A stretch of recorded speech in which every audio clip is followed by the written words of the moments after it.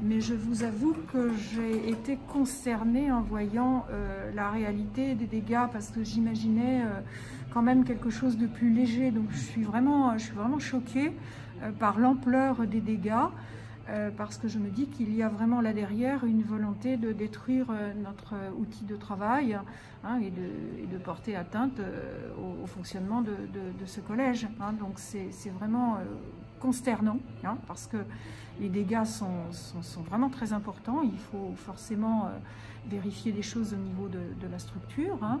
Et puis, un travail de nettoyage euh, colossal.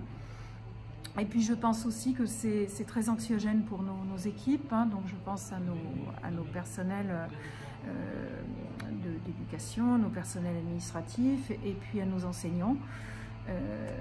Qui effectivement, hein, dans le contexte actuel, sont encore plus choqués. Hein.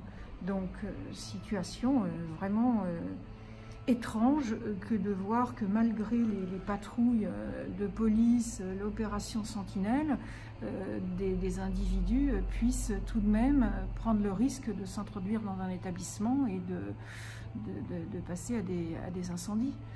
Euh, donc c'est quand même, euh, très choquant. Voilà, le contexte actuel rend euh, cet incident, enfin qui est plus qu'un incident, hein, j'ai pas de mots, particulièrement choquant.